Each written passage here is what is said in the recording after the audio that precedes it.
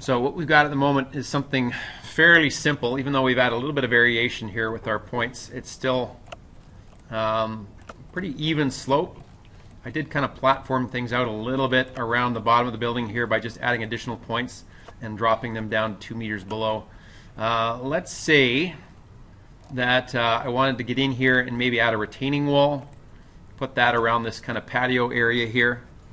Uh, I could do that with just the regular wall tool, and this is a good example of where we can use the wall profile. So if I go to my basement level and then just quickly create a standard kind of generic 200 millimeter wall here,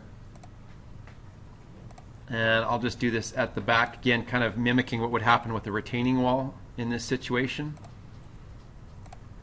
So I'll just start at the back of the building and extend into this corner and then drag down. And all that creates, of course, is something that looks like this.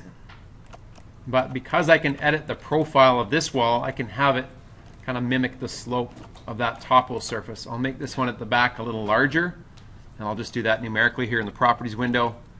So I'll set the top for this at an additional, let's try 600 millimeters and see if that works.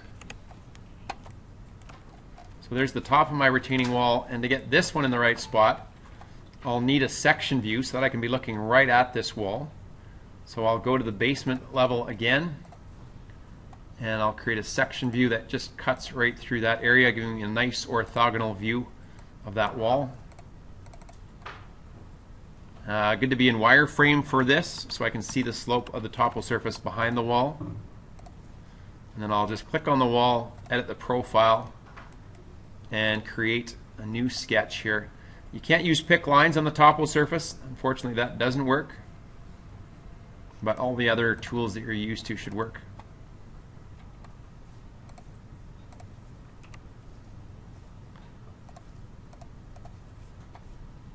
And if I wanted to be a little bit more particular about this junction up here, I could just follow the shape of that wall. And then I'll click. And sometimes when you're editing the profile of the wall, you'll get this little prompt that'll pop up. It's just giving you a little bit of advice about how to create walls, and you don't have to pay any attention to it. It's not going to keep you from making the wall. So there we go. There's our nice matched retaining wall. All right, so some other things that we can do to edit the shape or the topo surface. Um, as we've seen, anytime we click on it, we have the option to edit the surface, and that'll just give us access to the points. So we can click Edit Surface, use the Place Point tool, and uh, if I needed to have things kind of flatten out around the back, I would just add points, paying attention to this number. Uh, so if you know what elevation you want your points to be at, you can enter that before you start clicking. Otherwise, you can always access them after the fact. If, for example, I had some points in the file on the topo surface that I had to edit, I could just select them and then just change their number over here. Just getting a little bit more variety out of this topo surface. All right, so that's the basic way that you edit a topo surface. Beyond that, you can also change the material um, by using these tools. You have the option to do a split surface, which would actually cut the topo surface up into additional pieces. So let's say that we wanted to do something like a, a driveway. And you can also do a subregion, which would allow you to assign different materials to different parts of the topo surface, but not necessarily cut it up into separate bits. So for starters, let's just look at how we can control the material. It's pretty straightforward. All we have to do is just click on the topo surface, and over here in the properties window, we'll see that we have an entry here for material. At the moment it just says by category. Uh, good thing about this is you're not going to change anything about the type here. So those conventions that we're used to in Revit where we don't tamper with the type unless we make a duplicate, that doesn't really apply here. This will only ever be just an instance. So if we change the material for this instance, we're not tampering with material for any other topo surface in the project. So if I just click here and select material, it brings up my material browser and I can look for something that already exists in the project. Uh, there is an earth material, so for now I'll just click on that.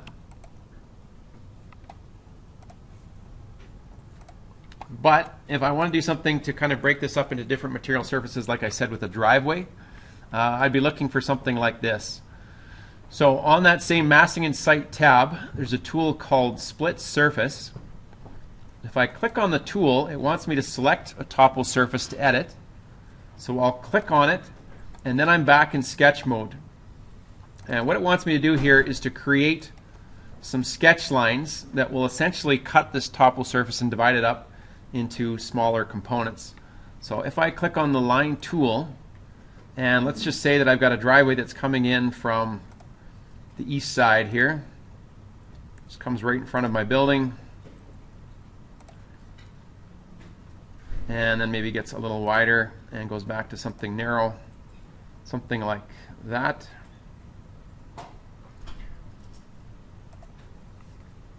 I could actually click the green check here and it would split this topo surface up into this shape, even though I didn't finish the sketch, which is a little unusual for Revit. This is one of those cases where you don't have to actually have a closed shape for your sketch. But if I click on the green check, now you can see that I have two topo surfaces. So here's the original, and here's what I'm calling my driveway. Now notice that that cut shape, that driveway that I've created, it follows the original shape. So if I wanted this to be flat, I could click on that topo surface and select edit surface and then I'd have access to all the points that determine the variations in the topography of this topo surface. So if I click on edit surface, select all the points, I could drop them all down to the same number, let's say negative 500 Looks a little high. We'll drop it down to maybe negative 1500. There we go. So now we've got something that kind of splits between cut and fill. So I have my nice flat driveway approach here, a bit of a parking area around the building. And all around it you can see that I've got some gaps now. So what I'll do first is I'll make a new material something that might look a little bit more like asphalt for this. So if I select that topo surface, again, at the moment it's set to display with the earth material, but if I change that, I'm not going to change anything about the original topo surface. So all I have to do here is just click on earth.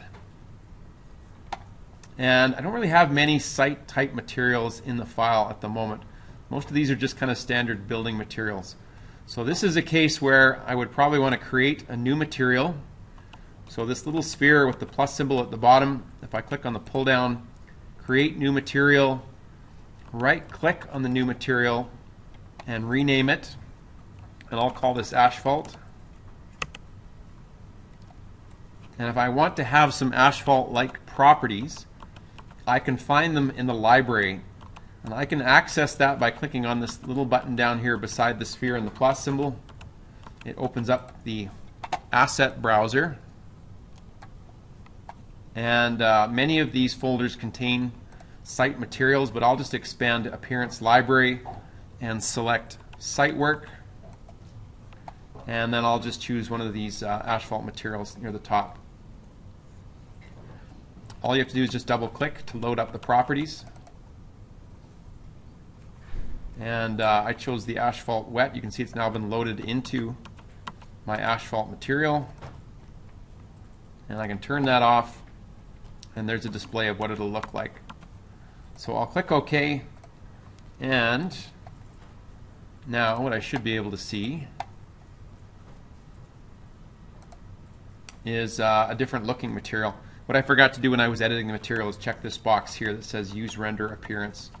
So that will ensure that whatever the material is set to render like here in the appearance tab, it'll mimic that, in this case with just kind of a mid-gray value, so that when I'm looking at this in a shaded view, I'll be able to see something that looks gray.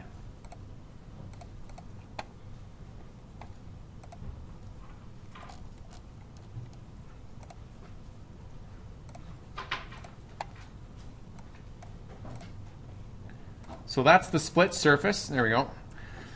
Uh, the other option, as I said, is that I can do a uh, sub-region.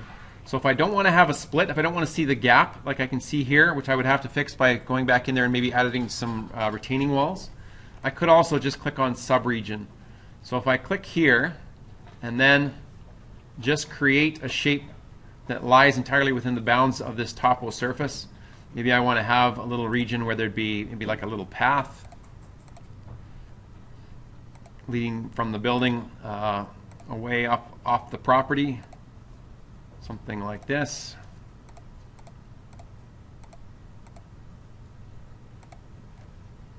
And maybe I'll finish that off just by closing it here.